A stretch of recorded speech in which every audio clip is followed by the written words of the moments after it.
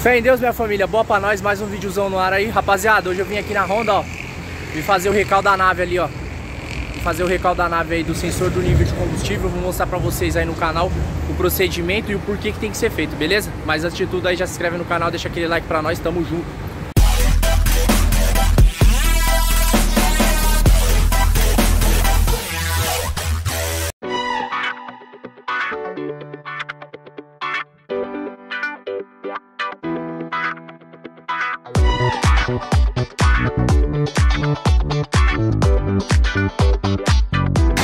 Agora, rapaziada, ela tá tirando o painel do som ali, ó, pra ter acesso ao sensor de nível que fica ali, ó, na parte de baixo da tampa, beleza? Tirou aqui, rapaziada, ó, essa tampa aqui que vai tirar, ó.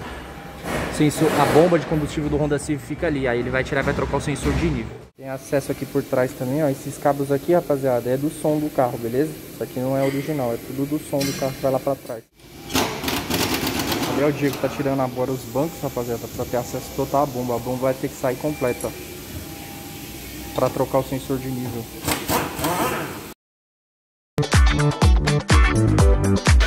Então, rapaziada, ele já tirou a bomba aqui, ó.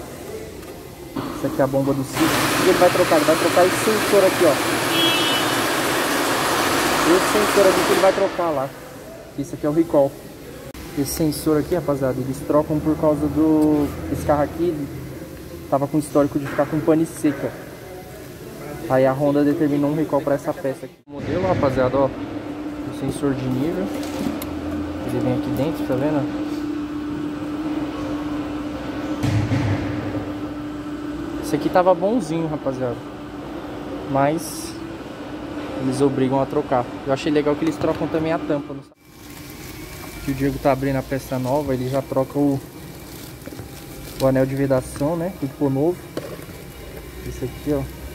É o velho. E agora ele vai pôr o novo aqui. Ah, Esse original Honda. Esse aqui que é o vilão, rapaziada, aqui da pane seca nos, nos Civics.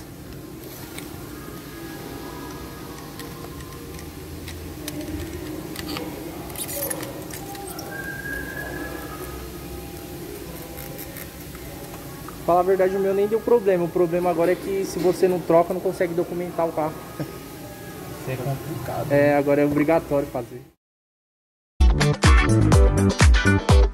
Vai tirar o decalque agora aqui do chassi. O que, que eles fazem? Eles tiram o decalque e mandam lá pra garantia do sensor de nível, entendeu? Que eles têm que... Na verdade não é a Honda que paga isso aqui, entendeu? É o fabricante. Aí tem que tirar o decalque pra mostrar que foi trocado do carro mesmo. Então, ó, troquei o sensor de nível lá agora. Falar nisso tem que abastecer. Agora tá zerado, agora dá pra licenciar o carro. Então, rapaziada, ó, fiz o recall lá. Quando você chega lá, eles já fazem o checklist do carro, tá vendo? Tudo que o carro tem. Aí você assina, aqui faz o checklist. E aqui tá o que foi trocado. Então, ó, serviço mecânica Honda. Ó, só a mão de obra 193,69, beleza? Kit sensor de nível 313,82. Esse aqui é o preço da peça. Então é um serviço no valor de 507,51. Se fosse feito por fora, beleza, rapaziada?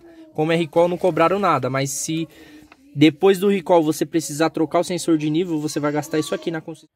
Finalizei a montagem aqui em casa, rapaziada. Outra dica aí, rapaziada, se você tiver som ou, ou cilindro de gás ou qualquer coisa instalada no seu carro, tem que tirar, beleza?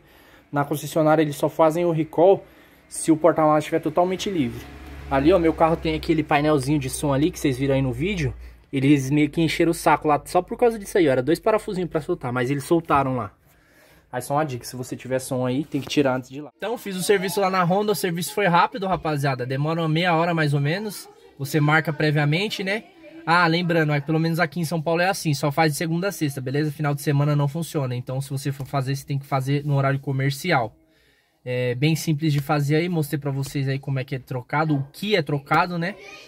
E eu, falei, eu falando lá com o consultor da Honda, ele falou que esse sensor ele é trocado. O meu não deu problema, entendeu?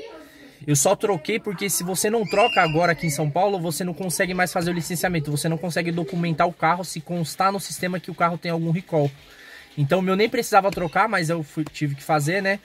Troquei lá, ele falou que esses carros aí, ele alguns modelos apresentaram pane seca. Então o que, que acontecia? Lá no marcador de combustível do carro, ele marcava que tinha três pontinhos, por exemplo, e do nada acabava o combustível. Então ele marcava errado, por isso que é necessário fazer o recall aí do sensor de nível. Se você gostou do, do vídeo aí, se inscreve no canal, deixa aquele like pra nós. Tamo junto.